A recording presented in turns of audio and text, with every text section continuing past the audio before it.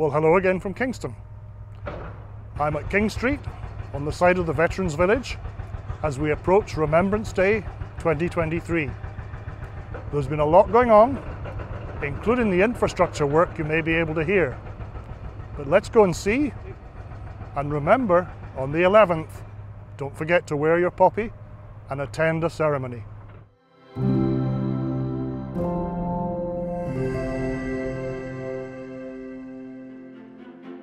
A mild but damp first week of November saw roofs on three of the six building groups on site.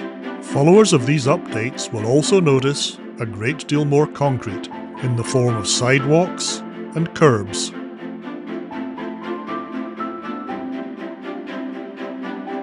Note too a generous number of planters and raised flower beds.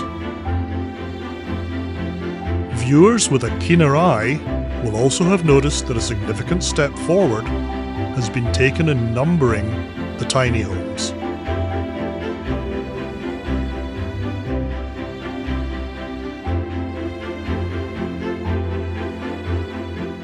Of course, a key to the success of the village is providing appropriate infrastructure, and this is where Barr come into their own. They excel at the work. Across the site, whether laying roofs or grading the surfaces, good work is being done all the time.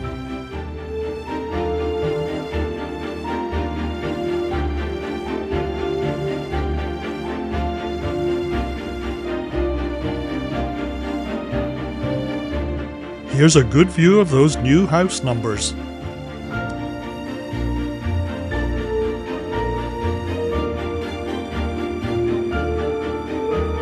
We'll close this update with a sweeping view of the whole site, giving you an idea of just how much has been done and how little remains. Don't miss the garden shed.